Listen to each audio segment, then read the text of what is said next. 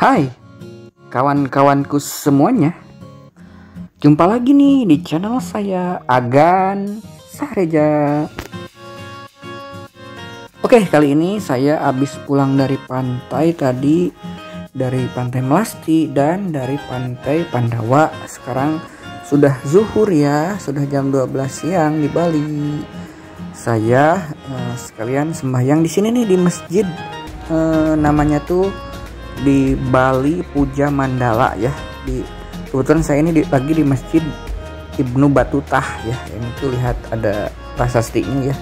Jadi ini tanggal 20 Desember 1997 didirikan oleh Presiden Soeharto dulu ya yang meresmikan Bali Puja Mandala ini ya. Tuh Yayasan Amal Bakti Muslim Pancasila ya di sini.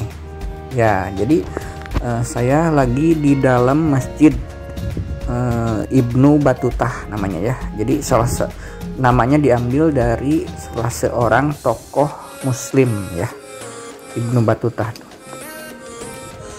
Uh, nah, uh, yang namanya Bali Puja Mandala ini adalah uh, sarana tempat peribadatan yang berdampingan lima agama ya dari mulai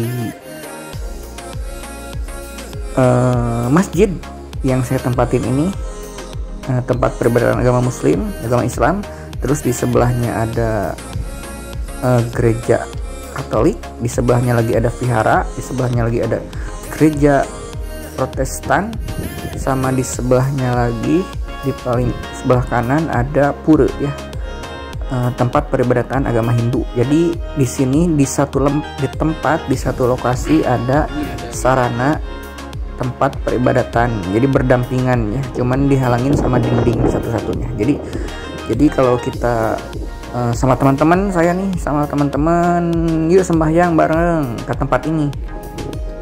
Karena saya masuk ke masjid teman saya ke gereja gitu. Jadi bisa berangkat bareng-bareng. Di lokasi yang sama ya bangunannya berbeda aja. Cuman tempat parkirnya sama semuanya di sini ya Tuh ini di sebelah saya ini tempat yang ada kelihatan genteng dan kaca-kacanya ini gereja eh, Katolik ya ini di tempat saya. Eh, kelihatan banget dari masjid itu sangat eh, berdampingan banget dan ini hanya ada di Bali ya. Hanya ada di Bali namanya Bali Puja Mandala di daerah Nusa Dua Bali ya. Jadi Bali Puja Mandala itu apa sih? Jadi eh, sarana peribadatan yang ada di Bali eh, yang menyediakan lima tempat peribadatan buat lima agama di satu lokasi ya di satu lokasi tempat eh, parkir. Ya sebelum sekitar sebelum eh, STP ya STP Nusa Dua Bali ke atasnya tuh kesan mungkin kalau yang pernah ke Bali mungkin pernah eh, ngelewatin tempat ini tuh dari dari saya dari lantai dua masjid hmm, Ibnu Battuta ini ya. Nah kadang-kadang saya kalau hmm, berkunjung ke suatu tempat saya selalu menyempatkan diri untuk hmm, berkunjung ke masjid yang ada di daerah sana seperti di Tanah Lot itu kan ada masjid yang sangat besar. Uh, di sini juga di Nusa Dua juga ada Nah, saya beres-beres dulu. Sekarang saya mau sekalian pulang sekalian ngevlog beres-beres pulang. Saya bawa tas. Saya lihat tempat-tempat peribadatan agama yang lainnya nanti saya lihat saya tunjukkan videokan uh, lokasi uh, yang namanya Bali Puja Mandala ini ya dari tempat parkir kelihatan tempat-tempat peribadatan uh, yang lain.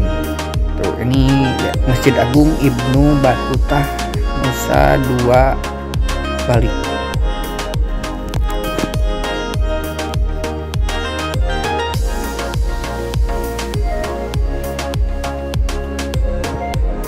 Oke deh, selamat menyimak terus ya. Video saya nanti akan bersambung untuk mengunjungi sarana-sarana peribadatan yang lain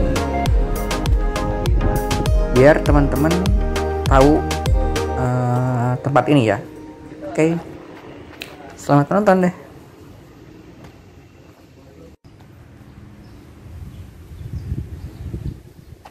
Halo, Assalamualaikum warahmatullahi wabarakatuh. Ini sahabatku, saya tadi saya habis dari pantai Pandawa dan Melasti. Saya mampir dulu nih ke Puja Mandala. Puja Mandala itu ini saya habis dari masjid tadi, habis dari keliling sholat, terus masuk toiletnya ke sini. Saya lihat ini bersih sekali ya. Tuh lihat sangat bersih sekali toiletnya melanjutkan perjalanan untuk melihat karena Puja Mandala itu tempat peribadatan. Ada lima berdampingan. Ini masjid ini aja berdampingan dengan gereja ini di sebelahnya masjid ini gereja. Lu lihat udah bisa dilihat ada salibnya. Ini